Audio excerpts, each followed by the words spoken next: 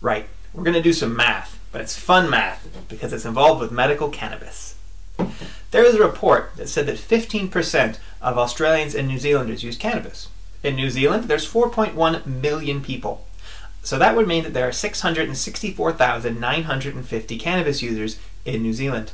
The mean spend of an average cannabis user is $817. So we're looking at a $543 million a year cannabis market in New Zealand. This is for recreational and medical use together. The GST on that, 15%, is $81 million. But we're not talking about recreational markets, we're talking about medical cannabis.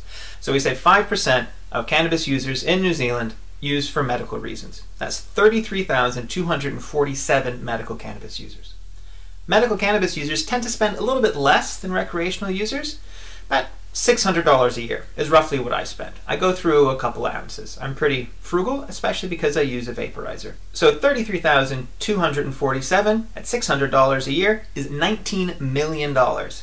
It's not getting taxed. So if we just put GST on that $19 million, it would make $3 million a year, which doesn't sound like a lot, but that's a lot of teachers' salaries. When you start to add up additional businesses like fertilizers and fancy things like extraction technology, you've got a real economy going.